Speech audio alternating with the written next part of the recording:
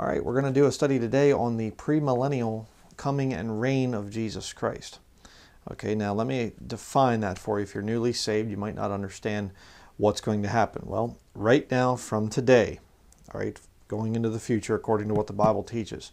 The Bible teaches that there is going to be a catching away of the bride of Christ. Okay, the church age is what we are currently in, where salvation is by grace through faith, not of works, and uh, anybody can get saved. God's no respecter of persons. Um, that's what we are in right now. Now, at, a point in time, the church, the body of Christ, is going to be taken off of this earth. Okay, that's called, many call it the, the rapture. Uh, the Bible teaches that it will happen before the coming time of Jacob's trouble. Many people call it the, the Great Tribulation. Um, and then at that point, God's done with dealing with the church. Anybody can get saved and things. To now, God turns his attention. You look at the Old Testament, he's dealing solely with the nation of Israel. Then the church comes in, so you have Jews and Gentiles being saved. God doesn't respect, say, well, I'm only going to save Jews now or something, or deal with only the Jews. Nope, right now anybody can get saved. And uh, but that time ends, and then God says, okay, and he turns his attention back to the Jews again. And because they've rejected Jesus Christ as their Messiah for nearly 2,000 years, God's judgment comes upon that nation. And, uh, and for seven years, he's quite harsh with the Jewish people. And there are some Gentiles, of course, that do get saved in that time period, but things change a little bit.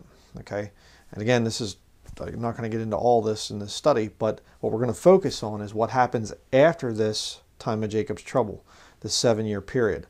Jesus Christ comes back down the second coming, and then he rules and reigns on the earth, physically on the earth, uh, as the Messiah to the Jews, and uh, he fulfills those promises that he made. See, that's where Jews get messed up because they think that he had to fulfill the, the Messiah, you know, will fulfill everything the first time, including his millennial reign. Uh, no, uh, he was rejected by the nation of Israel.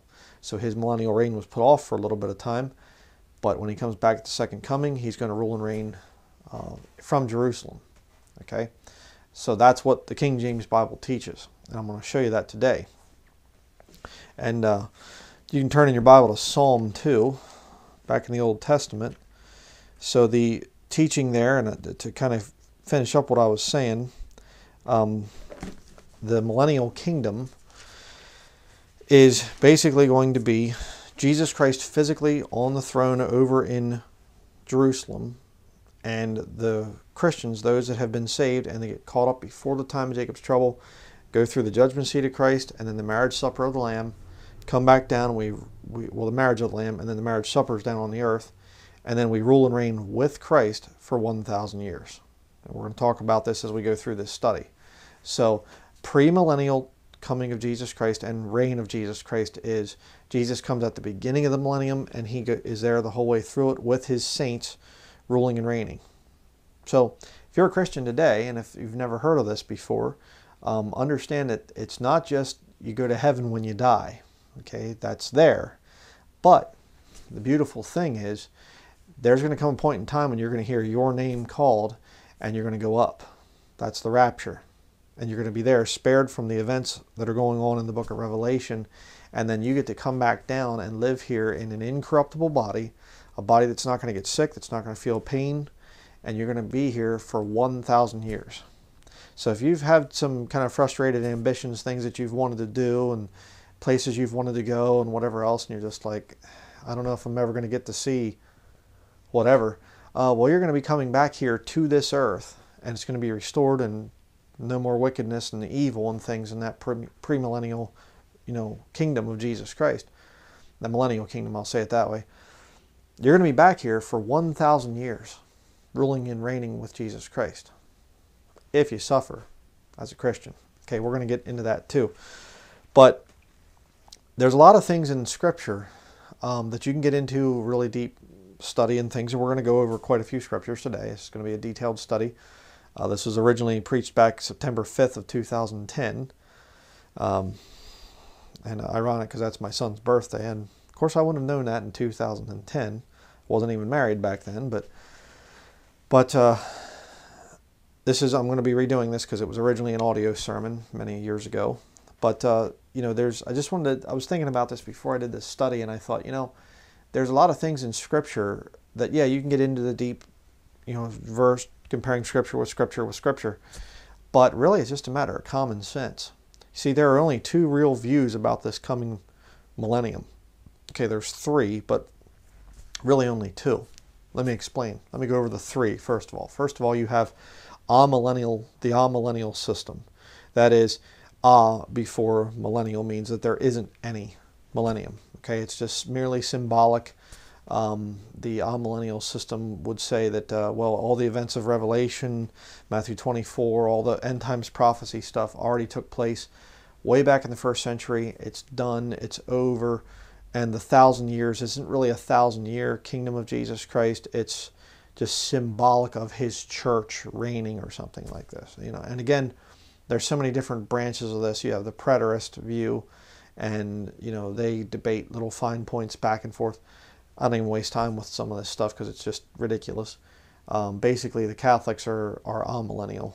Uh, they they're the ones that are teaching a lot of the amillennial stuff. Um, then you have the Reformed, uh, school of thought where it's post millennial. Right? The church gets to a, such a point of wonderful goodness that it brings in a thousand year kingdom of the church ruling and reigning. And Jesus Christ is in heaven. Jesus Christ isn't physically on the earth, you see. It's the church. And then Jesus Christ comes back at the end of that, you know, post millennial system. And again, I've debated with these guys back and forth. I don't mean official debate, you know, because I think that's a waste of time.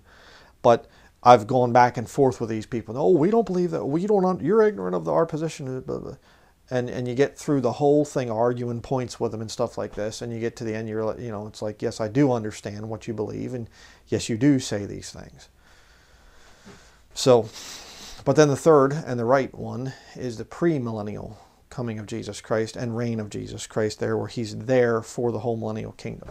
So those are the three different types amillennial, post millennial, and premillennial. All right, now there's three, but there's really only two. Okay, the two are either the Church of Jesus Christ is currently reigning or will reign in the future, or the Bible believing system is understanding that man is a failure and always will be a failure, saved or lost. Okay? And there's no way even saved Christians could bring in a thousand year kingdom with the church ruling and reigning without Jesus Christ physically on the earth. See, either you believe Jesus Christ has to be here physically to fix things up, or you believe the church does. That's really the only two different types of beliefs. The church brings in peace, or Jesus Christ has to come up and help us out because we're such stupid sinners. I'm in the second camp. Thank you very much. I'm never going to think that I'm so holy that I can be part of some church system that can bring world peace and whatever else and control things for a thousand years. You're out of your mind. Um, most churches don't last, uh, you know, 10 or 15 years. All right. going to bring it a thousand years. Uh huh. Sure. But let's uh, let's start out here. Psalm uh, two, verses six through nine. Yet have I set my king upon my holy hill of Zion. I will declare the, de- the decree. The Lord hath said unto me, Thou art my son, this day have I begotten thee. Prophecy about the coming Messiah, about Jesus Christ. Ask of me, and I shall give thee the heathen for thine inheritance, and the uttermost parts of the earth for thy possession. Thou shalt break them with a rod of iron. Thou shalt dash them in pieces like a potter's vessel. All right. Ask of me, and I shall give thee the heathen for thine inheritance, and the uttermost parts of the earth for thy possession. Jesus is going to get physical rule and reign here on this earth. Why? Because it was promised to him. Pretty significant. Actually, having God manifest in the flesh physically here on the earth, ruling and reigning. Looking forward to it. Turn to Psalm 47. Psalm 47, beginning in verse 1. O clap your hands, all ye people. Shout unto God with the voice of triumph. For the Lord Most High is terrible. He is a great king over all the earth. He shall subdue the people under us and the nations under our feet. He shall choose our inheritance for us, the excellency of Jacob, whom he loved, Selah. God is gone up with a shout, the Lord with the sound of a trumpet. Sing praises to God, sing praises, sing praises unto our King, sing praises. For God is the King of all the earth. Sing ye praises with understanding. This will be important later. We'll see about this. God reigneth over the heathen. God sitteth upon the throne of his holiness. The princes of the people are gathered together, even the people of the God of Abraham. For the shields of the earth belong unto God. He is greatly exalted. Now you look at that thing, and if you are honestly reading that with a clear conscience and just understanding plain English, you're seeing this is people praising him in person. Okay? And he is sitting on a throne, and the heathen are there for his inheritance and the whole deal. He's on the earth. But you see, lost people try to spiritualize things that they don't understand or that they don't like from Scripture. And you will see that thing. And again, if you see my study on Let Them Alone, there are some people that you'll just you'll meet and they'll just be so bullheaded about this thing, and you just got to say, okay, see ya, goodbye. Jesus Christ is the only one that can restore things on this planet. You know, got to tell you a little story here. I've said this in other sermons, but uh, there was an old man. He was a janitor the one time, and he heard a preacher say that this world sure is a mess, isn't it? And this old man, this old janitor, he said, no. He said, this world's not a mess The preacher said, What are you talking about? He said, uh, I've been a janitor for 50 years, we'll say. I forget the exact number. And he said, I've cleaned messes up all my life. You can clean messes up, you can't clean this world up. Yeah, that's absolutely true. This world is in a very, very bad state. And to think that man can somehow bring in peace and man can fix things up and whatever else, man has had 6,000 years of history to prove that he has been a consistent failure. Every man. That's why the Bible says every man at his best state is altogether vanity. There's not a just man upon the earth that doeth good and sinneth not. Let God be true, but every man a liar. Over and over and over again. That's why people hate this book so much this King James Bible. they hate this book because it's not like other holy books. Other holy books say man is great and man can attain to things and man is the measure of all things. Man is wonderful, man is great and all this stuff. King James Bible says, hey you, you, yeah you, you know, you're rotten. You're no good. The very best that you can do is going to land you in hell. God had to send his son down to die on the cross to pay for your rotten, filthy hide. If you're saved, you're saying, yeah, absolutely. Mm-hmm, yep. You come to the end of yourself. But you see, that's why most people don't get saved, because they don't want to come to the end of themselves. They're still hoping. There's some good there. I see good in everybody. God doesn't. There is none good. There is none that understandeth. They're all gone out of the way scripture after scripture. I'm quoting scripture. Scripture after scripture after scripture what God thinks about man. It isn't good. How on earth could man rule down here and bring in peace and everything else? It's not going to happen. Turn next to Isaiah chapter 2.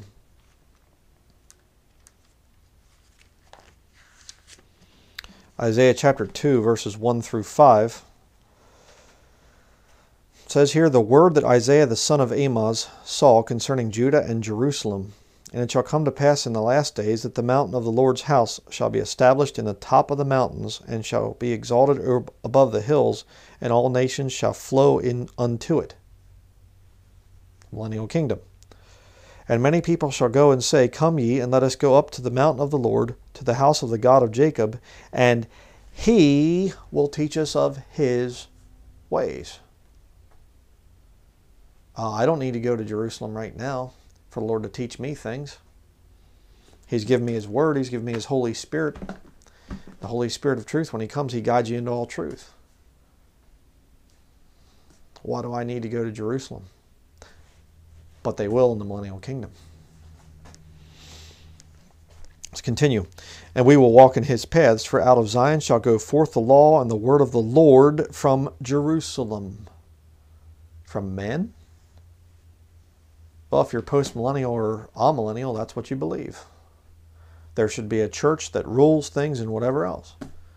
And yet you look at the churches that do rule things, you look at the church, you know, state type of countries, they make a miserable mess of things. Verse 4 And he shall judge among the nations, and shall rebuke many people, and they shall beat their swords into plowshares, and their spears into pruning hooks. Nation shall not lift up sword against nation, neither shall they learn war any more. O house of Jacob, come ye, and let us walk in the light of the Lord. It's funny because the second part there, from the colon on down to the end of the verse in verse 4, that's on the front of the United Nations building about beating your swords into plowshares and, and things like that, spears into pruning hooks. You know, in other words, they go from fighting to farming. And they have that thing on there. And yet the United Nations, I was going to say usual nuts or, you know, ugly Nazis or whatever you want to make the UN. Um, this is an old statistic too. I have here written they sponsored over 157 wars since 1945, since their founding in 1945 the UN sponsors wars and, and all this other stuff, and they're but they're about peace. We're going to find have peace as soon as we have just one more war. There's a few loose ends we need to tie up. We just got to go kill some more people with our peacekeeping troops, and then we'll have peace. sure, sure you will. Uh, I don't think so. Turn next to Isaiah chapter 9. It's really kind of funny you know, it was a World War One. I, I think you know we've had a war to end all wars. no, you haven't.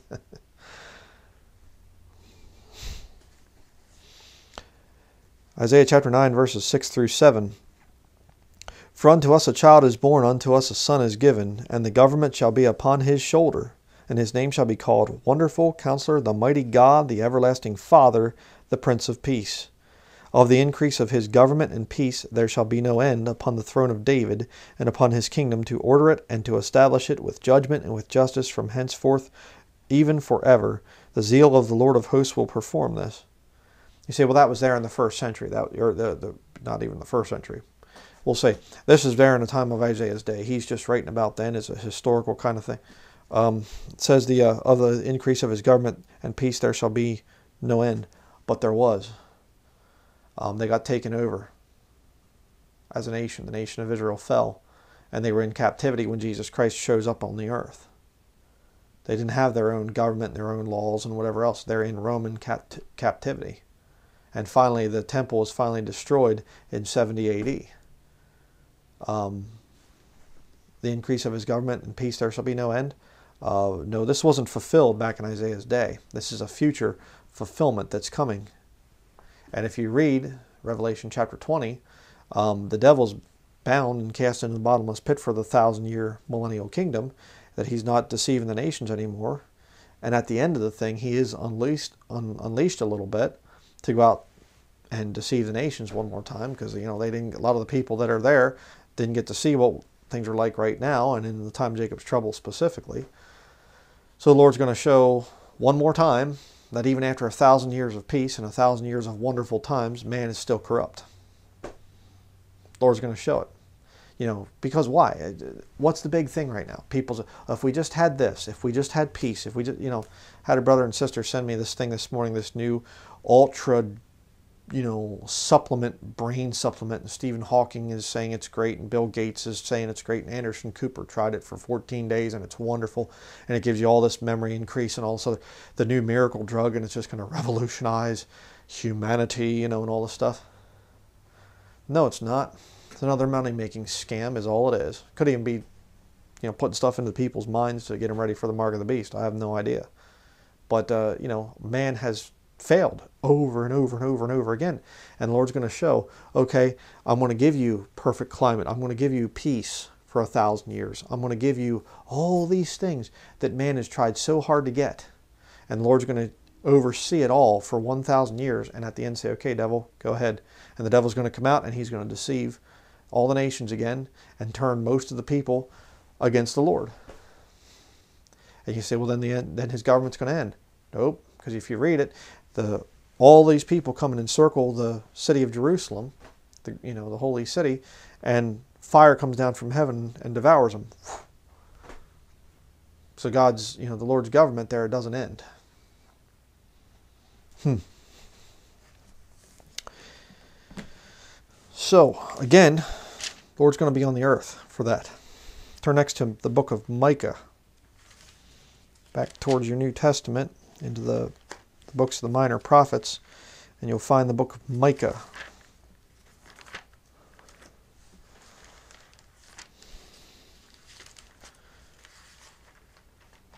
Yeah, they call them the minor prophets, but I think a lot of times you should call them the dusty prophets because they that's kind of kind of the part of the Bible that just you know gets kind of dusty. Most people don't read the minor prophets. You just kind of go Old Testament, you end about the book of Daniel, and then you go to the New Testament. Well, there's some very important things in those minor prophets. Let's uh, see some of those. Micah chapter 4, verses 1 through 4. Let's read that. But in the last days it shall come to pass that the mountain of the house of the Lord shall be established in the top of the mountains, and it shall be exalted above the hills, and people shall flow unto it. Remember what we read in Isaiah? And many nations shall come and say, Come and let us go up to the mountain of the Lord, and to the house of the God of Jacob, and he will teach us of his ways, and we will walk in his paths, for the law shall go forth of Zion, and the word of the Lord from Jerusalem. Again, very similar to what Isaiah was saying and he shall judge among many people. He shall judge among many people. See, you could say, well, it just means that you go up to Jerusalem, and when you get to Jerusalem, there's godly men there, and you know, a good Baptist church, local Baptist church, and things. Excuse me. And uh, you know, and they're the ones that it's it's the Lord's authority through it doesn't say that though in verse three. He shall judge among many people. He's there. The heathen have been given him for an inheritance, and he is instructing in things and judging. And when does that judgment begin? Matthew chapter 25 with the judgment of the nations, when he decides who goes into the kingdom and who gets cast down into the lake of fire. But let's continue. And he shall judge among many people, and rebuke strong nations afar off. And they shall beat their swords into plowshares, and their spears into pruning hooks. Nation shall not lift up a sword against nation, neither shall they learn war any more. But they shall sit every man under his vine and under his fig tree, and none shall make them afraid, for the mouth of the Lord of hosts hath spoken it. It's going to be peaceful. It's going to be a farming, amazing farming time an agrarian world, is what you would call it. Turn next to the book of Zechariah. Keep going towards your New Testament. Zechariah chapter 8, verses 1 through 3. Again, the word of the Lord of hosts came to me, saying, Thus saith the Lord of hosts, I was jealous for Zion with great jealousy, and I was jealous for her with great fury. Thus saith the Lord, I am returned unto Zion, and will dwell in the midst of Jerusalem, and Jerusalem shall be called a city of truth, and the mountain of the Lord of hosts, the holy mountain. Is Jerusalem a city of truth right now? Nope. The vast majority of people living in Jerusalem are living a lie. They're living the lie that the Jesus Christ is not their Messiah.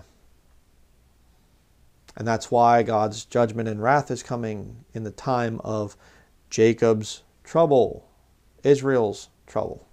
You get all these papists out there saying, no, it's not Jacob, it's about the church. Oh, you know.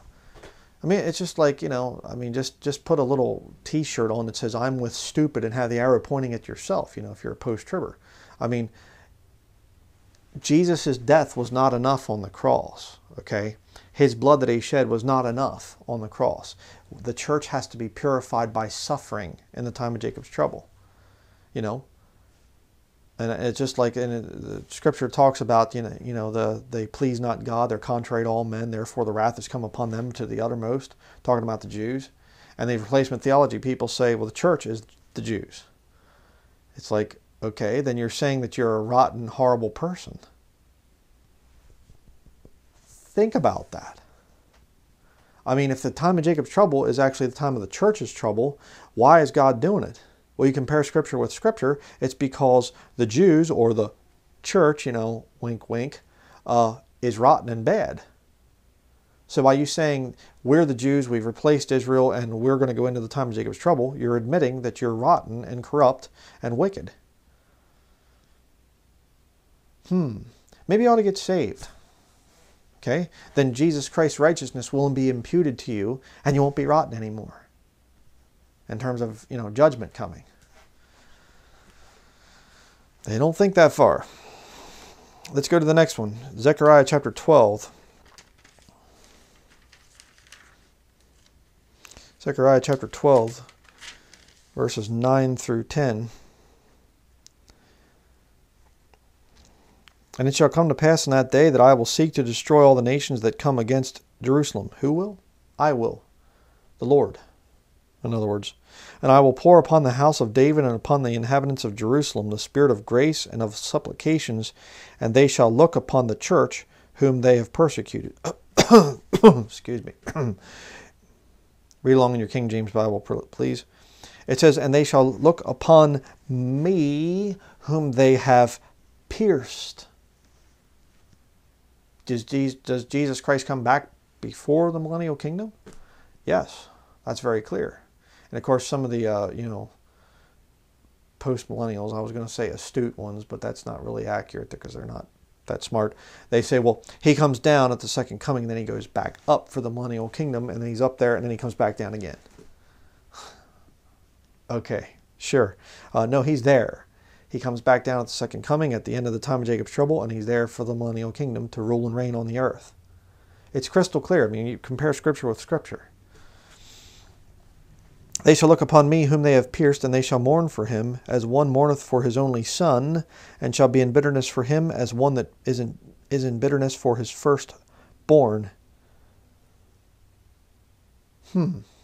How on earth can you get anything but a premillennial coming and, you know, millennial reign for Jesus Christ physically on the earth? How can you get anything else out of the King James Bible? You know, and a lot of these new versions, like the NIV, a lot of the um, people in that, you know, on the NIV translation committee were Calvinists and stuff like that. And you get a lot of the Calvinists, the Reformed theology people, and they get into the whole post millennial system. And uh, they'll change their scriptures and stuff to try to kind of lean a little bit more post millennial because they want to rule and reign without Jesus Christ. Again, that's the issue. The Pope says, oh, amillennial. Sorry, there is no millennial kingdom. The church is ruling and reigning, and the vicar of Christ is here, Christ's representative. And the, the those that are conformed to the image of Christ, the Pope, you know, in other words, in Catholicism, are the priests, and the bishops and the archbishops and the cardinals and the whatever other devil-possessed people, the rape children and things like this. I mean, th- think of the monstrosity of Roman Catholicism. I mean, really, the Pope is Jesus Christ, and all the other Catholic clergy and everything else are those saints that are, you know, conformed to the image of Jesus Christ, you know, ruling and reigning with him on the earth, you know. Yeah, uh, that's pretty disgusting if you ask me. But uh, that's what they believe.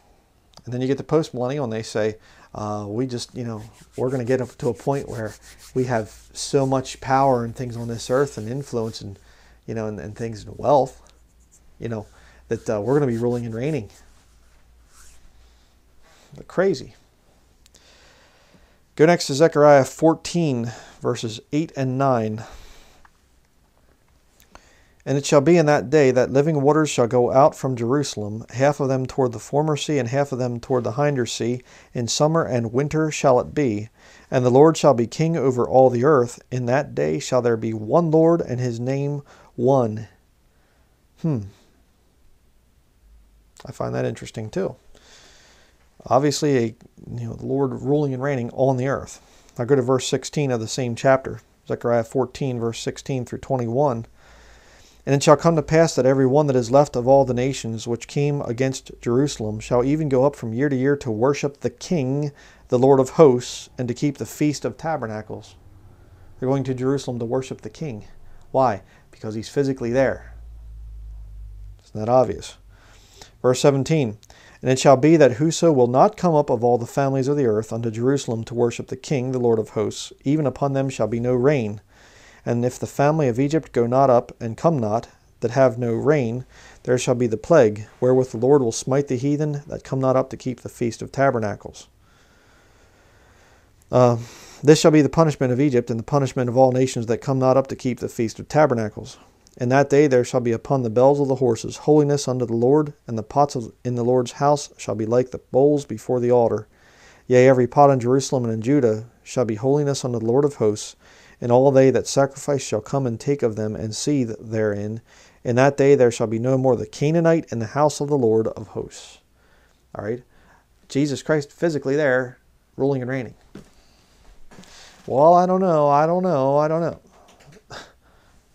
You can't see it. I no, got some issues. Matthew chapter 3. Let's go to the New Testament now and see what the Bible says about this thing. We're going to talk about the kingdom of heaven. The book of Matthew is the only book in your King James Bible that has the term kingdom of heaven. I'm going to show you why that is here. Matthew chapter 3, verses 1 through 3. In those days came John the Baptist, preaching in the wilderness of Judea, and saying, Repent ye, for the kingdom of heaven is at hand. For this is that what uh, for this is he that was spoken of by the prophet Isaiah, saying, The voice of one crying in the wilderness, Prepare ye the way of the Lord, make his paths straight.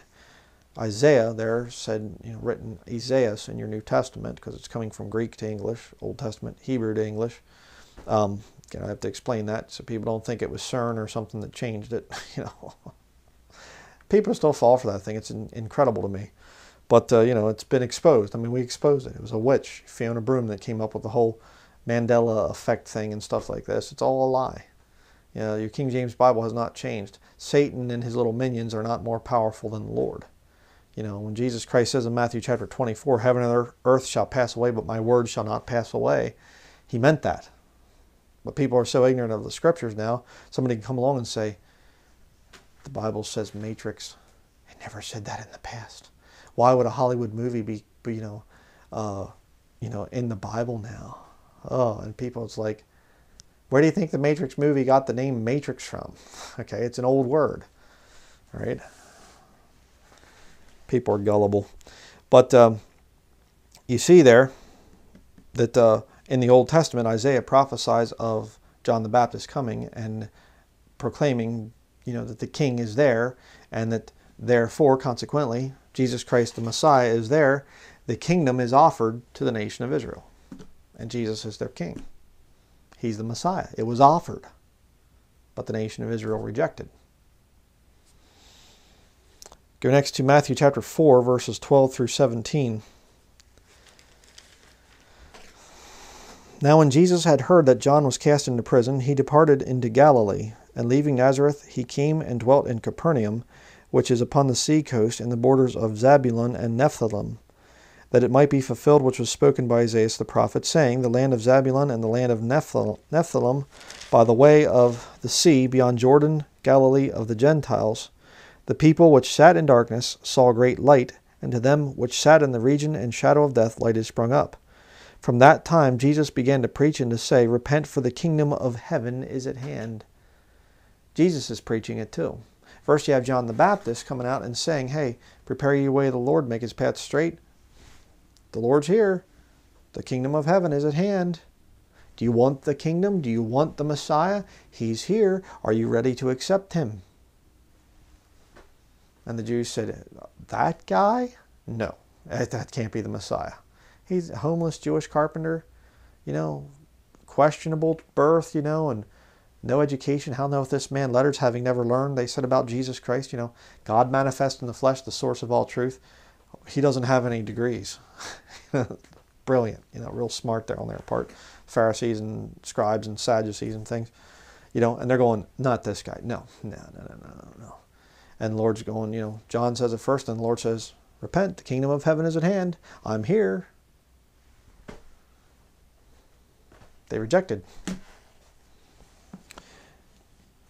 Then Matthew chapter chapters five through seven is the Sermon on the Mount, and uh, you know, and over and over and over again, Jesus talks about the kingdom of heaven, and we're not going to go through all those different uh, references, but there's something very important that you need to get here.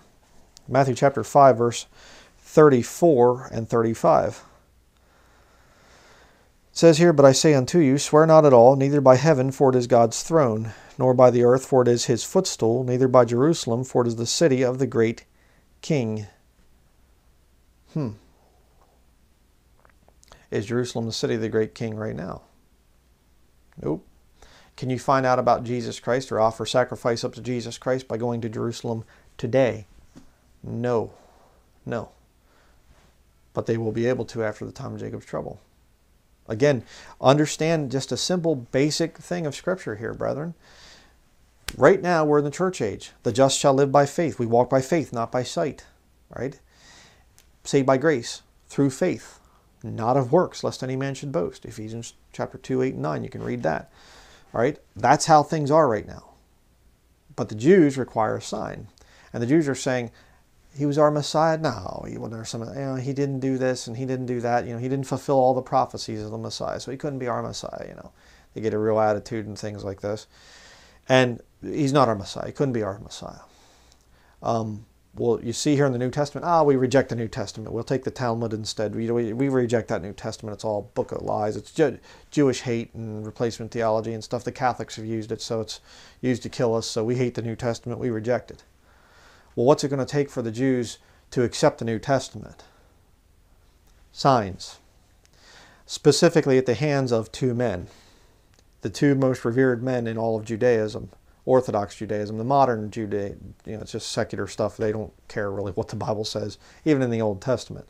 But Orthodox Judaism, they, re they revere two men more than anybody else Moses and Elijah. Moses, the giver of the law, Elijah, the prophets. Okay? So those two men are going to come back, Revelation chapter 11 talks about it, and they're going to do signs and wonders. Repeating, Moses is going to be repeating a lot of the things he did in front of Pharaoh, Egypt, to bring them out there in the book of Exodus, to bring the nation of Israel out of Egypt. Okay? The nation of Israel right now symbolically is in the world. They are very worldly. Egypt is a type of the world. See how it all works out? The Jews are again in bondage to Egypt, also known as the world. They're there, and Moses is going to come back and say, I got some things to show you. They're going to go, Who are you? Moses. What? Prove it. Moses isn't going to sit down and say, Okay, let's get your Torah scrolls out and we're going to this and we're going to that and stuff. He's not going to be saying anything of the kind. He's going to say, okay, you want proof? All right, watch this. Let's turn some water into blood wham, let's uh, have some plagues come. Let's smite the earth with all manner of plagues and things like that for three and a half years. It's going to be something else. But again, that's going on over there in Israel, and he's smiting the earth with plagues. Uh, why would that happen there and the body of Christ in the rest of the world be smitten with plagues when we haven't done anything to deserve it? Now the body of Christ is gone before the time happens. You see? Just it's right there. But the book of Revelation, the revelation of Jesus Christ, you know, the full title there of the book, it's about the Jews being given a time there that they get to see the New Testament being confirmed with signs and wonders so that they say, by the end of the thing, seven years of that, you know, three and a half years of Moses and Elijah doing all kinds of stuff, proving things, you know, preaching. I'm sure that they're going to be, you know, preaching Jesus Christ to the Jewish people. And what are the what are the Jews going to say? You know, the most uh, radical rabbis out there are going to be like, "This is Moses and Elijah. Look what they're doing. They're can, wow, you know, this is really incredible." And at the three and a half year mark, things get real bad, and things fall to pieces, and they're running for their lives. And by the end of it, they're going, I hope Jesus comes soon to save us. Pretty incredible. And then they're ready for that millennial kingdom with Jesus Christ as their Messiah ruling and reigning on the throne in Jerusalem. That's how the thing's going to work out. Go next to Matthew chapter 10. verses 5 through 7. Matthew chapter 10, verse 5. These twelve Jesus sent forth and commanded them, saying, Go not into the way of the Gentiles, and into any city of the Samaritans enter ye not, but go rather to the lost sheep of the house of Israel. And as ye go, preach, saying, The kingdom of heaven is at hand. Now, if you're non dispensational, in other words, if, if you don't rightly divide the word of truth and say, well, what was going on here in Matthew is not the same thing that's going on today. Jesus shows up and he's offering himself as the king of the Jews. He gets crucified. They say, Behold your king, the king of the Jews. See, he's there. They crucified their king. The Jews crucified their king. So that kingdom, that millennial kingdom, gets put off. And it was offered again after, you know, Jesus came went back up to heaven in Acts chapter 1. It's being offered again. And they reject him again. So they have, you know, what's going to be happening to Israel in the time of Jacob's trouble, they fully deserve it. And it's going to be a very, very bad time for them. It's going to make the uh, Holocaust there in Nazi Germany look like, you know, walk in the park. It's going to be a bad time for them. But you see right here, if you say, well, the whole Bible, Genesis to Revelation, the whole thing is for Christians. They were always preaching the same thing. Okay, then why is it that Paul is the apostle of the Gentiles and goes out and he's preaching to the Gentiles, but yet Jesus tells his disciples right here, uh, Go not into the way of the Gentiles, and into any city of the Samaritans enter ye not, but go rather to the lost sheep of the house of Israel. And when ye and as ye go, preach, saying, The kingdom of heaven is at hand. There's no preaching of the kingdom of heaven in Paul in the Pauline epistles, from Romans to the book of Philemon. There's no kingdom of heaven being spoken of there. There's no physical kingdom. See, that's called non dispensational not rightly dividing the word of truth. When you say the whole Bible's for me, I can just, they're preaching the same thing the whole way through it. Lost people believe that. People that don't have the spirit of discernment, the Holy Spirit there to discern the scriptures and say, wait a second, this can't be the same thing as what's going on back in the book of Romans or in the book of Ephesians or Galatians or whatever else. It's not the same thing.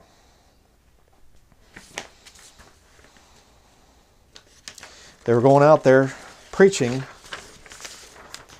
the gospel or the uh, yeah the gospel of the kingdom of heaven. The king was there. Matthew chapter 11 verses 11 and 12 Verily I say unto you, among them that are born of women there hath not risen a greater than John the Baptist. Notwithstanding, he that is least in the kingdom of heaven is greater than he. And from the days of John the Baptist until now, the kingdom of heaven suffereth violence, and the violent take it by force. What's it talking about there? It's talking about the physical kingdom. How many armies have gone in and fought over the city of Jerusalem? You got all the holy crusades and things between Catholicism and Islam, and they're fighting each other, killing like crazy and things, and fighting and fighting and fighting and fighting. And now there's not much physical fighting going on anymore. There's skirmishes between the Palestinians, you know, the um, descendants of Ishmael, basically, and uh, they're not they don't have any right to the land, and the descendants of Jacob, they do have right to the land, and there's fighting all the time between the two. But uh, the real battle is going on behind the scenes. The real battle for Jerusalem goes on behind closed doors, and it happens with pens and paper. And that's why your Bible says back in the book of Daniel, chapter 9, that the Antichrist, when he shows up, he confirms the covenant. It does not say anywhere that he writes out a peace treaty between the Jews and the Muslims and Arabs and things. And I believe that for years and years and years. But it's like Lord led me to just really study that thing, and it's like looking at it, it's like where does it say peace treaty between the Jews and the Muslims, or the Jews and the Arabs, or the Jews, you know, Isaac and Ishmael and things. that, the, the, their descendants get along, and the Antichrist makes this peace treaty between the two. It's not there, brethren. It's not there. He confirms the covenant. It's already written up when the Antichrist shows up. And all he does is he makes the final deal and he says, okay, this is what we're going to do. And my contention is it's not between the Jews and the Muslims or the Arabs or whatever, the Palestinians. It's between the Jews and the Roman Catholics. That's what the agreement is. And I could say a whole lot more on that, but I've talked about that in other studies. But uh, but let's you know look at verse 12 here because this is this is a key scripture. Okay. The kingdom of heaven suffereth violence, and the violent take it by force. Now, a lot of the people will say, well, the kingdom of heaven is a reference to where God is, heaven. Uh, okay, um, when does it? When did heaven ever suffer violence, and when did violent the violent take it by force? You're going to go up there and take it away from God? No, you say, well, no, but God took it from God took it from who? The kingdom of heaven suffereth violence and God's the one doing the violence, who did he take it from? No, it can't be heaven. Okay? You say, well, the kingdom of heaven is, is like the kingdom of God that's spoken of in the book of Romans and, and Romans chapter 14.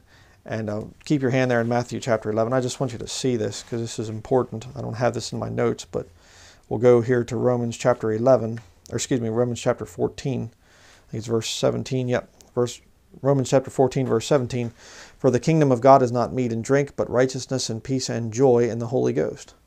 And these dumb bunny non-dispensational post-tribbers, they'll say, well, the kingdom of God and the kingdom of heaven are one and the same. Oh, really? The kingdom of God is not meat and drink, but righteousness and peace and joy in the Holy Ghost. Matthew chapter 11. From the days of John the Baptist until now, the kingdom of heaven suffereth violence, and the violent take it by force. How can you make that the same thing? It suffereth violence, righteousness, peace, and joy in the Holy Ghost. They're the same? The violent take it by force. How do you take peace, joy, and righteousness by force? and see, they got to do all these gymnastics and all this spiritual. Well, you see, and they just twist and, and contort the scriptures. They wrest the scriptures unto their own destruction. You see, lost people can't handle the sword of the Spirit.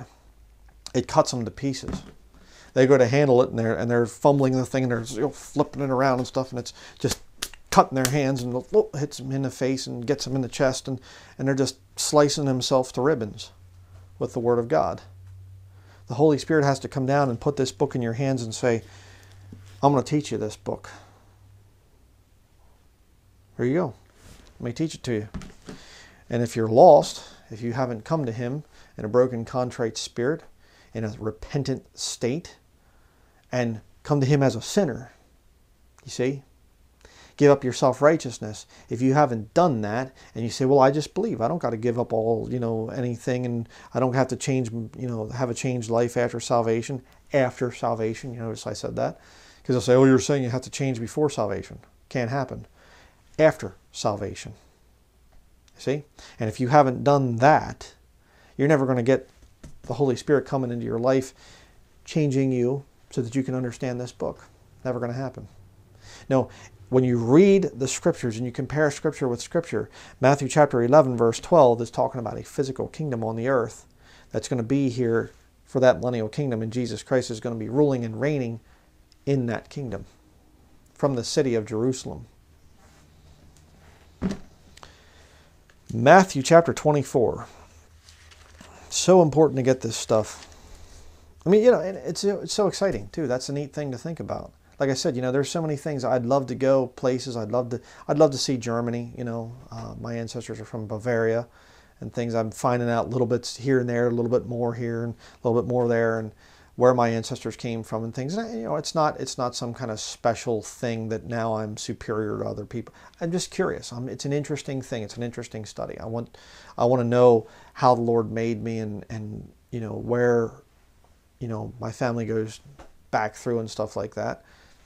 It's an interesting thing to me, and uh, you know I'd love to be able to go over there, but it's like it's all messed up with the Muslim immigration thing and and all the other liberal laws in Germany, and it's just disgusting you know. And uh, I'm going to get to see it in the millennial kingdom. And then when I get there, it's not going to be all messed up with man made laws. And I'm going to have a different body. So there's not going to be any jet lag when I get off the airplane, and there's not going to be any walking around over there and I ate something wrong and I got a headache now, or I feel sick in my stomach, or whatever. Um, going to be back here on this earth for 1,000 years no vexation walking around and seeing a adult bookstore over there and a bar over there and Catholic church over there and a Muslim mosque over there and a, this over here and that over there. Nope, done. Don't have to worry about pickpockets coming up and trying to take your wallet or something like that. Won't be any. The Lord has given you many precious promises as a Christian. And you know what? Sometimes all that you're going to have in this life is those promises, brethren.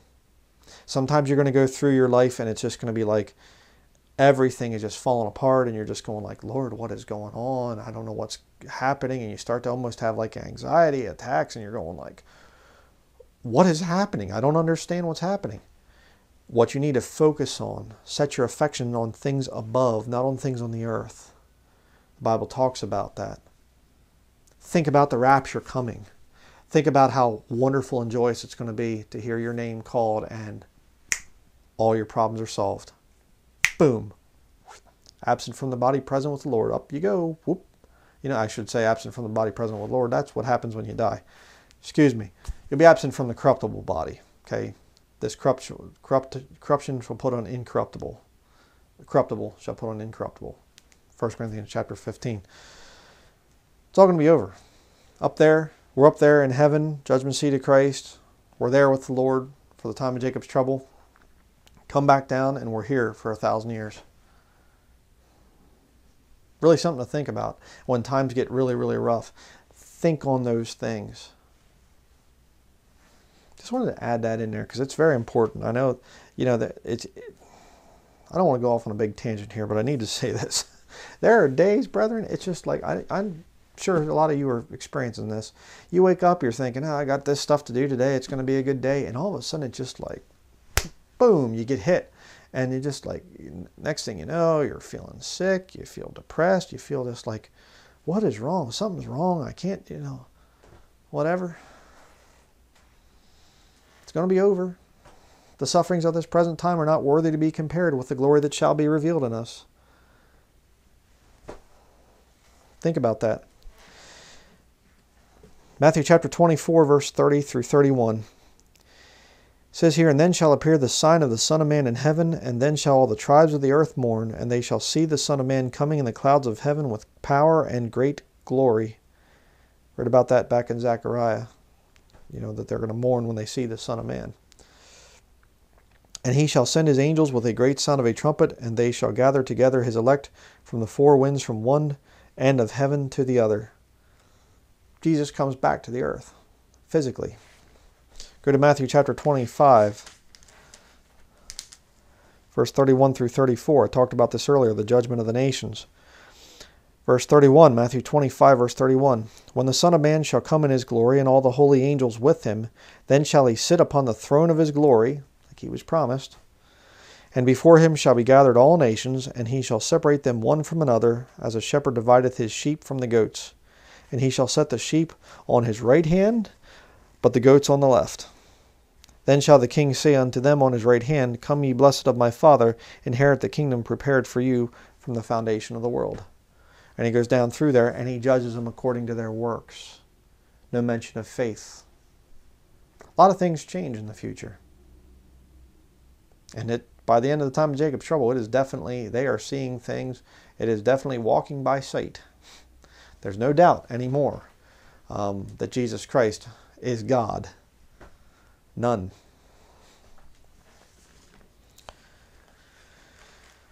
Revelation 19. What happens right before Jesus Christ comes back down in Matthew 24? We'll go back and I'll, we'll read about what happens here. Revelation 19, verse 1 says here, And after these things I heard a great voice of much people in heaven saying, Alleluia, salvation and glory and honor and power unto the Lord our God. There's people in heaven before the second coming. So post trib, the whole system there of the post trib system, you have the pre post trib pre wrath or something like this. All these little funny little systems. It's all work salvationists. You know that they're uh, worried for the pre tribbers because some of them might not make it. We're sealed until the day of redemption. How are we not going to make it? I mean, hey, if I'm going to go into the, the, the time of Jacob's trouble, I'm just going to go ahead and take the mark of the beast. I mean, why not? I'm sealed until the day of redemption. I can't lose my salvation. I'm in Christ Jesus. I'm seated together in heavenly places in Christ Jesus right now. So if I'm going to go into the time of Jacob's trouble, what am I worried about? Take the mark. Do whatever you feel like doing. Hey, you know, it's a ridiculous system. No, the body of Christ leaves before the time of Jacob's trouble. And that's why the time the people that are in the time of Jacob's trouble, they have no eternal security. 144,000 are sealed, that's true. But the rest, they're being beheaded, all kinds of bad stuff happening to them. Why? Because they didn't take salvation when it was easy to take it right now in the church age, right now in this time period. You know, whosoever will, let him come. Come on, you want to get saved? For whosoever shall call upon the name of the Lord shall be saved. Romans chapter 10, verse 13. Get saved today. It's easy. Drop your self righteous pride. Come on, get saved. You're a sinner. Don't you need some help with those sins? Aren't you a little tired of those sins? Oh, I just kind of like to experience a little bit more. A little more fornication, a little more drunkenness, a little bit more drugs, a little bit more television viewing, a little bit more whatever, rock music and whatever else. Why don't you grow up? You know that that stuff doesn't make you happy. You know what wrecks you? Wrecking your health, wrecking your mind. You need some help. Come to Jesus Christ as the sinner that you are, and He'll clean your life up. But let's continue. Rome, or, uh, Revelation chapter 19, verse 2 through 10. We're going to read here about the marriage supper of the Lamb. For true and righteous are his judgments, for he hath judged the great whore, which did corrupt the earth with her fornication, and hath the, avenged the blood of his servants at her hand. The great whore there is Revelation 17 and 18, the Roman Catholic Church. Proven in many, many studies. And again they said, Alleluia, and her smoke rose up for ever and ever. And the four and twenty elders and the four beasts fell down and worshipped God that sat on the throne, saying, Amen, Alleluia. And a voice came out of the throne, saying, Praise our God, all ye his servants, and ye that fear him, both small and great. And I heard as it were the voice of a great multitude, and as the voice of many waters, and as the voice of mighty thunderings, saying, Alleluia, for the Lord God omnipotent reigneth. Let us be glad and rejoice and give honor to him, for the marriage of the Lamb is come, and his wife hath made herself ready. And to her was granted that she should be arrayed in fine linen, clean and white, for the fine linen is the righteousness of saints. And he saith unto me, Right, blessed are they which are called unto the marriage supper of the Lamb. And he saith unto me, These are the true sayings of God. And I fell at his feet to worship him. And he said unto me, See thou do it not. I am thy fellow servant and of thy brethren that have the testimony of Jesus. Worship God, for the testimony of Jesus is the spirit of prophecy. Everything that we just read there verses 1 through 10 happens before the second coming. And there's a whole group up there, the marriage of the Lamb and things is happening before the second coming. How could you be a post tribber? Who's this group in heaven? Getting married to the Lamb before he even comes back down to the earth.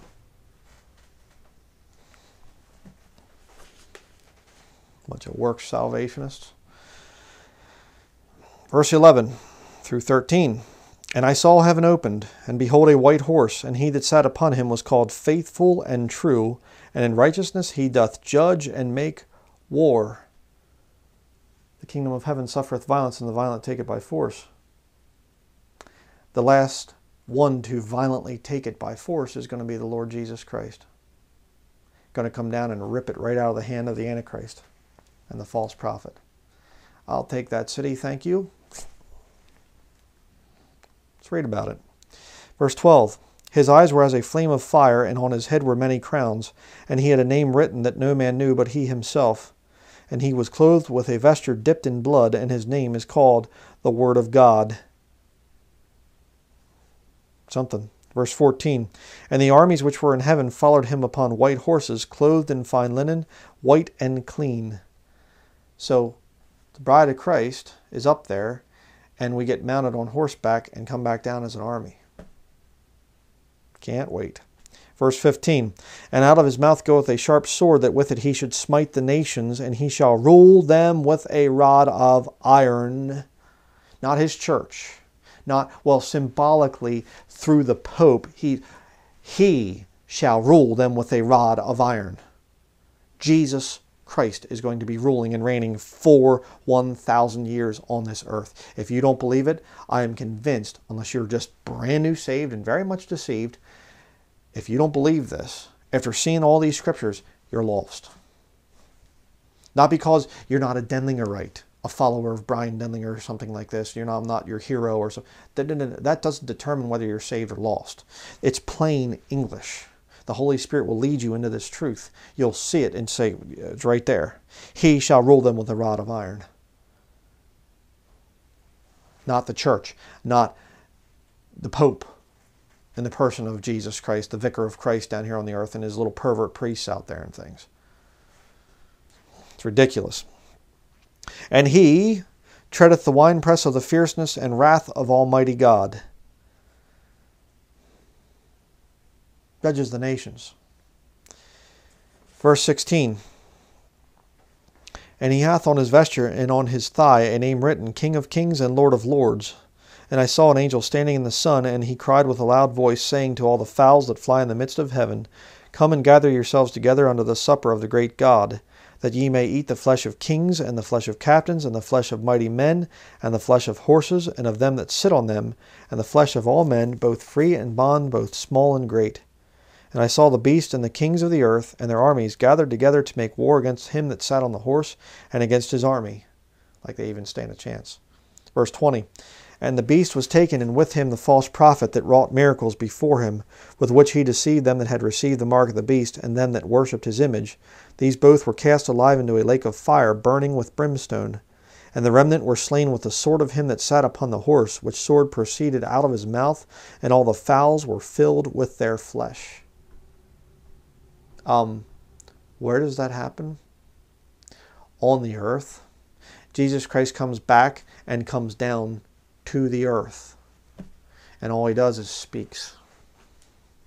And his word destroys the biggest military power that man could muster. Do you realize what you hold in your hands? You say, well, yeah, it's the Bible. No, no, really. Just think about this for a minute. The creator of the universe gives you a book. How precious is this book to you?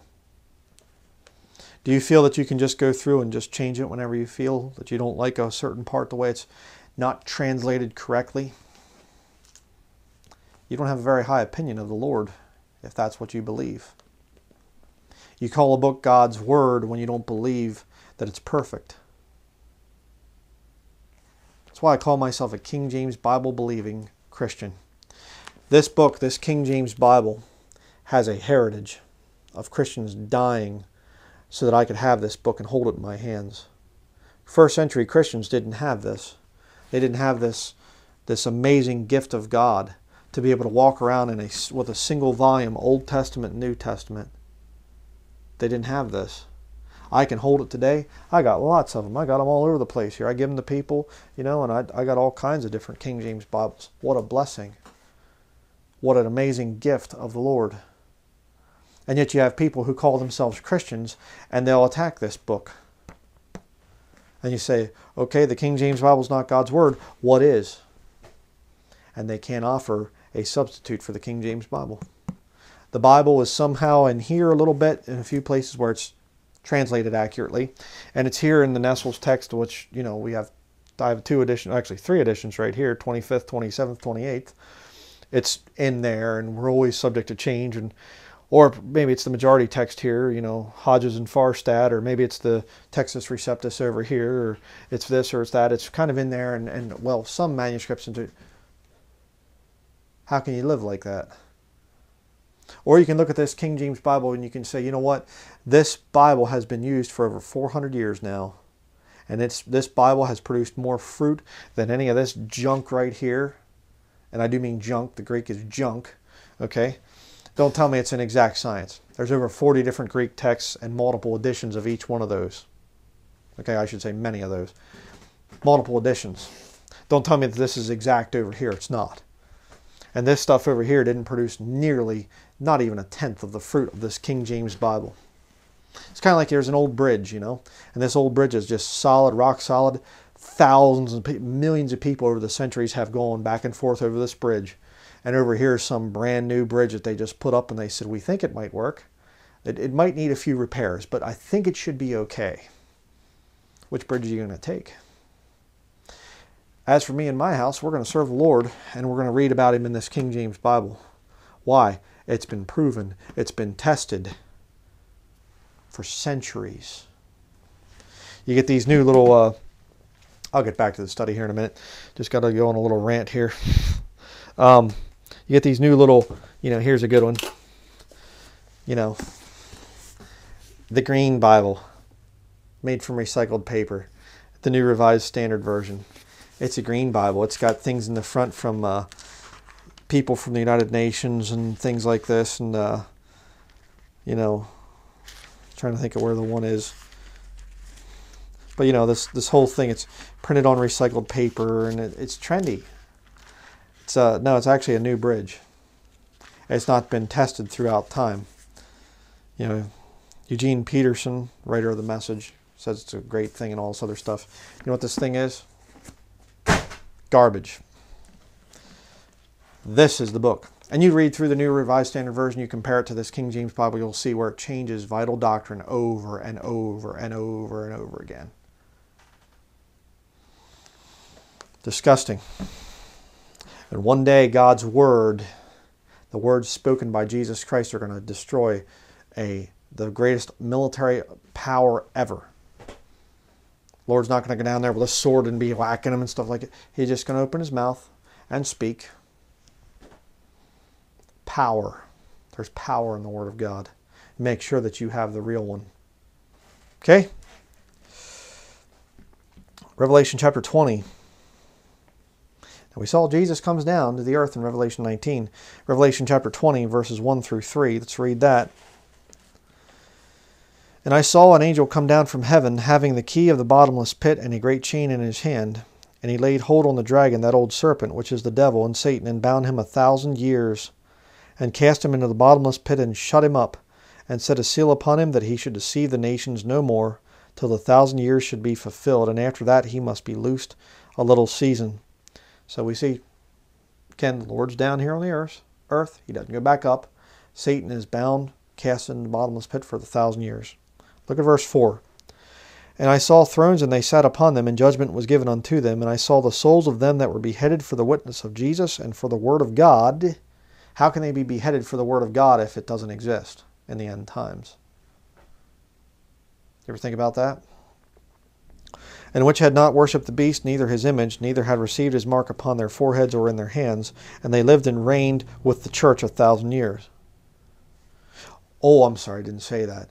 And they lived and reigned with um, the Pope and his priests for a few thousand years. Because a thousand years doesn't necessarily have to mean 1,000 years. You know, it's a thousand years, but not a thousand years. You know, yeah, okay.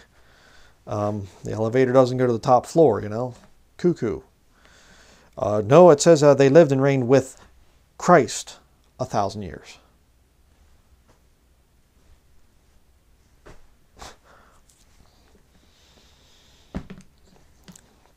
Verse 5. Let's read down to the end here of the chapter. But the rest of the dead lived not again until the thousand years were finished. This is the first resurrection. Blessed and holy is he that hath part in the first resurrection. On such the second death hath no power. But they shall be priests of God and of Christ, and, that, and shall reign with him, with him, did you get that? A thousand years.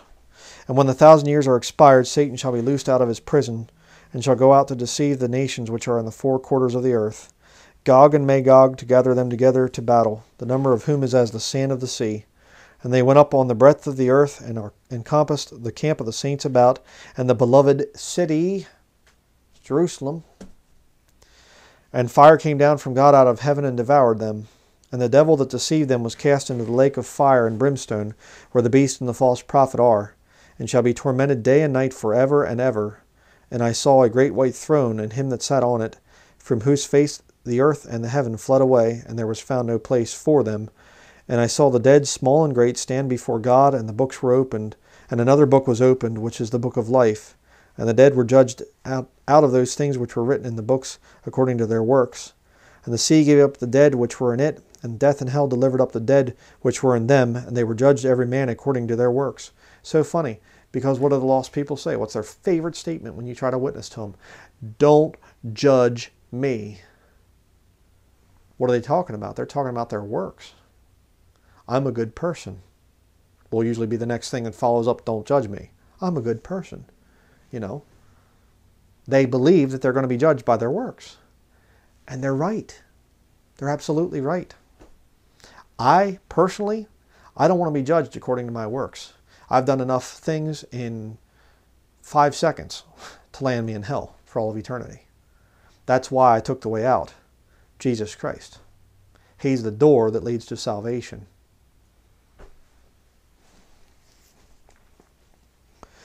Verse 14 And death and hell were cast into the lake of fire. This is the second death. And whosoever was not found written in the book of life was cast into the lake of fire. Yeah. So, what is the conclusion of the matter? What's the one last thing that we have to talk about? Well, if you're a Christian right now, there's a, I mentioned this earlier, the thing about suffering for Jesus Christ. Turn to 2 Timothy chapter 2. You see, yes, we're saved by grace. Yes, we're not saved by works. Uh, there are no works that will save you. Continuing works do not keep you saved. Uh, when you get saved, the Lord saves you. He gives you eternal life right then. Right? That's a very important thing to understand. That's eternal security comes in there. And uh, people that go all over the place to try and say that, well, you can lose your salvation, it's because they are working their way to heaven. 100% of the time. I've always seen that. Uh, well, we can prove over here and we can prove over here that if you do these certain sins and if you, if you, you know, do this and do that, then, then you lose your salvation and things like this. Um, they're working their way to heaven. But if you put your faith in Jesus Christ and say, there's nothing here, okay? I put my faith in Jesus Christ. Right? You do that, well, what part do works have then? Well, works are there to earn rewards. Okay? First of all, prove that you're legitimately saved, right? There will be a change, you know. I mean, it's it's rock, you know, real rocket science there. You get saved by the God of heaven and his Holy Spirit moves into your life and people debate whether or not there should be a change there, you know. Like I think that there's going to be a little bit of a change when the God of the universe puts his spirit into you, you know. I think a few things might change, you know. But the works there, works meet for repentance, you know, to prove that you've truly come to the Lord in that, you know, proper state, ending your self-righteousness. Secondly, your works are there to earn rewards at the judgment seat of Christ. Thirdly, the works are there to um, earn you a place in the millennial kingdom. Okay, and I do believe that all Christians will be there in the millennial kingdom in some way, shape, or form. Um, but your the level of, of service that you get to do for the Lord, ruling and reigning with Christ, in other words, that level of service will be dependent upon what you've done in this life for the Lord. And when you are working for the Lord, something happens. It's called suffering. All right? Let's look here. 2 Timothy chapter 2 verse 11 begin there. It is a faithful saying, for if we be dead with him, we shall also live with him. When you die to yourself, your self righteousness dies, you die and say, I'm not going to earn my way into heaven. I put my faith in Jesus Christ. He gives you new life. You become a new creature in Christ Jesus. Verse 12 If we suffer, we shall also reign with him. When you suffer as a Christian, that will earn you your suffering because you're working for the Lord, you see. That's going to earn you millennial inheritance. If we deny him, he also will deny us. And the you know, no eternal security work salvationist jump up and down and say, see, he'll deny you if you deny him. Uh, keep reading. It's talking about inheritance. If you deny him, if you're ashamed of the Lord, you don't live for the Lord, he's going to deny you inheritance. How do you know? Verse 13 If we believe not, yet he abideth faithful, he cannot deny himself. Once you get saved, you are in Christ Jesus, bone of his bone, flesh of his flesh. He can't deny you at that point. All right?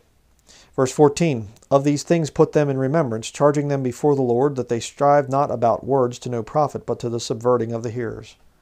That's what I'm doing right now. I am charging you right there before the Lord. Put them, I'm putting you in remembrance of these things and charging you before the Lord. Don't strive about words to no profit. You say, what are you talking about? Well, now, the reading here is an unfortunate reading.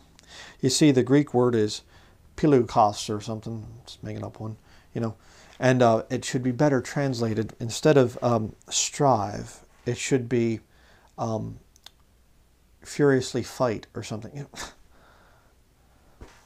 subverts the hearers. How does it subvert you? When you hear some stupid preacher standing up there and he says, Now, I prefer the Nestles, what is this one? Here's the 28th. Got to get the most recent one, you know. I prefer the Nestles 28th. And let me just show you a little nugget here from the Greek, you know, and things like this.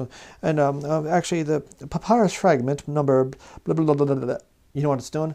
It's subverting the hearer. Why? Because everybody thinks that they need to know this. You can't, you can't understand the Bible, you see. You can't have a real good relationship with the Lord and really be able to understand everything that the Lord has for you with just this. You need to have that. And you need to have that priest, and, I mean, uh, excuse me, preacher above you to uh, expound the Greek scriptures to you because you're just ignorant laity. I mean, you know, look at this. Look at this. I mean, really.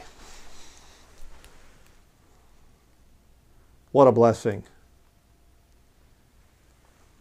They had all the, you know, critical apparatus down there and everything else, all these different numbers and things. Isn't I mean, what a blessing. I mean, I, I, was having a bad day the other day, you know, and and uh, and I just opened up my uh, Nestles text here and I just started reading. It just like, oh, wow, it was just such a wonderful thing, you know. Out on the street the other day, and this guy was come up to me and he said, you know, got to talking and I started witnessing to him and I said, let me just show you the precious word of God that will save your soul. Let me just show you that. Look at that. Isn't that amazing? I mean, right there. Look at that. That line right there. Isn't that, isn't that something? You know? stupid. Absolutely stupid. Um, you can have the book right here. And it's so funny too because these people that defend this junk over here, they'll complain about the archaic words in the King James Bible.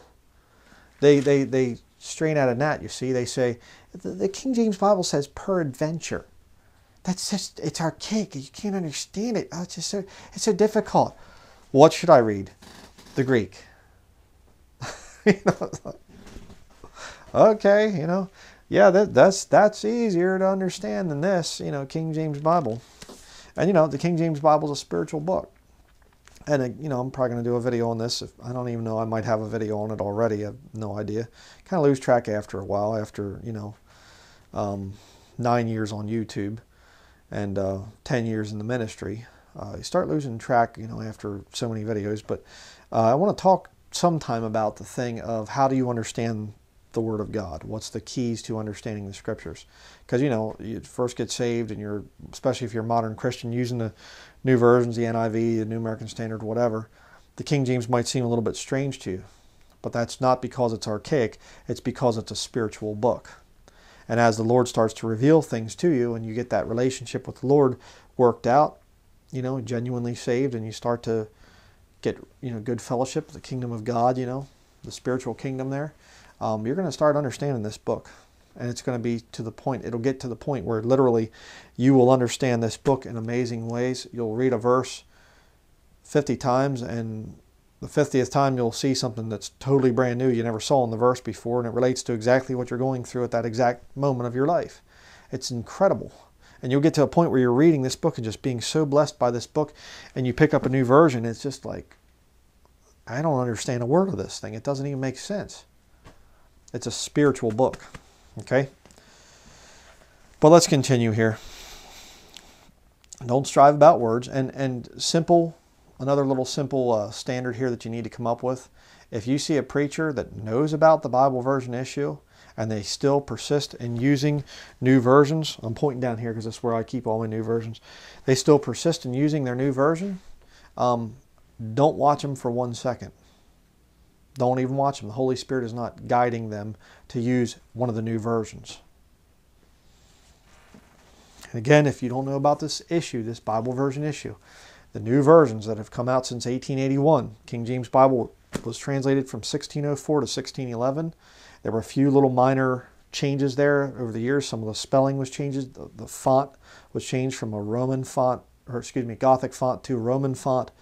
The style of the letters and stuff like that, in other words. Um, and there were a few things, that, and the Bible that we have today is 1769. By 1769, it was all the little things that had to change. And the English language was changing too, I might add. English was still a fairly new language in 1611. And these revisions were done, and from 1769 till today, this very day, this King James Bible has been the greatest Bible of all time. No question about that.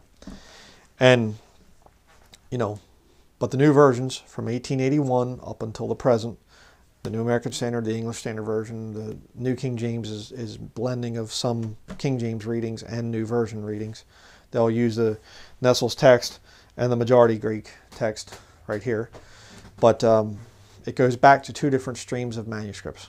Again, I'm saying this, you know, my more experienced uh, viewers are probably going, yeah, we've heard this before. Yeah, but for the new ones, this set of Greek texts right here, the Nestles, 25th, 27th, 28th, this is an Egyptian, um, primarily Egyptian, uh, uh, Alexandrian line of manuscripts. And I mean, I realize that there's some, you know, things back and forth on that. You know, it's not all just Alexandrian. I mean, I understand. But this is the vast minority, less than 1% of extant Greek manuscripts. In other words, if they find a Greek manuscript, less than 1% of the time it'll line up with this text here. And the Roman Catholic Church has used the Nestle's text for, you know, a long time. And, um, or variants thereof, you know. And um, then you have the majority text here, the Hodges and Farstad, which blends these. I should, well, let me say that this one over here is the uh, Greek text from Antioch. It's a Syrian Greek text. It's used by the Greek Orthodox Church. Um, this is called the received text or the Textus Receptus. Okay, this one has been used.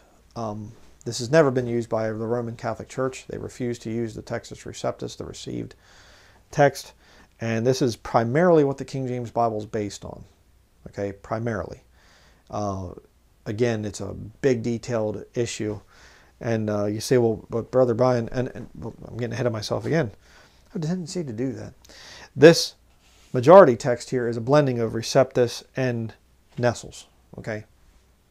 Now that I've said that, you say, well, Brother Bryan, how do we know then which one is right? How do we know that the King James is right if it's not perfectly translated from the Textus Receptus and things like this? Um, well, you know because of the fruit that it bears. And the King James Bible has borne the very, very best fruit. And, uh, you know, when you study it out, it's, again, you can't say, well, the Textus Receptus is the perfect scriptures and there's, you know, just whatever. You can't say that. Okay, there have been different corruptions and different things and stuff down through the centuries. The King James translators, what made this Bible different is they not only used the Textus Receptus and ignored the Alexandrian Roman Catholic text, but they also used other ancient translations, many times that were older than even Greek manuscripts.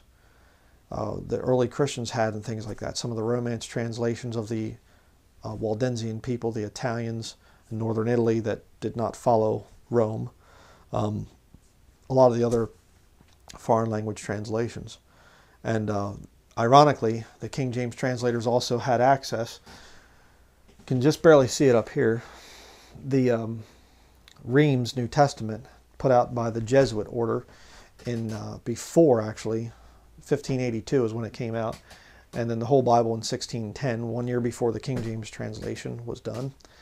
And the King James translators actually had access to that.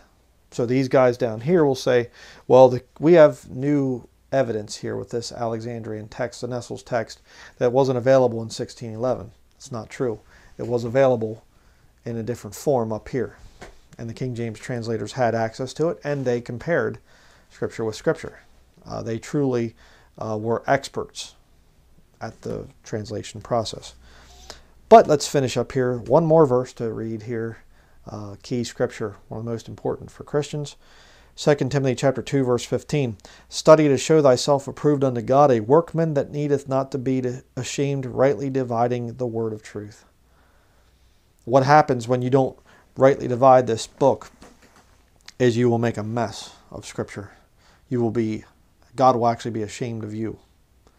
Uh, and you will be ashamed a lot of times because you're going to make yourself out to be a total, complete fool. You're going to make the scriptures contradict. You're wresting the scriptures unto your own destruction. So that's going to be it for this study. Um, there's no question. If you're saved, if, if uh, you have the Holy Spirit of God, you will be premillennial in your belief system. Again, I mean, this isn't rocket science, brethren. Either Jesus Christ is the only one that can physically reign on the earth and bring in a thousand years of peace, or there is no millennial kingdom, it's the church reigning, or the church brings in the thousand years of peace. Which one is it? Man is a failure, and Jesus Christ needs to rule and reign physically on the earth. Or man is not so bad after all, and man is already ruling and reigning, or man will in the future. So that's going to be it for this study. And uh, I have another couple little videos I'm going to be doing here. But uh, we'll close with a word of prayer here. Dear Heavenly Father, I do thank you for the precious gift of your word and how we would just be so in the dark if we did not have a perfect standard.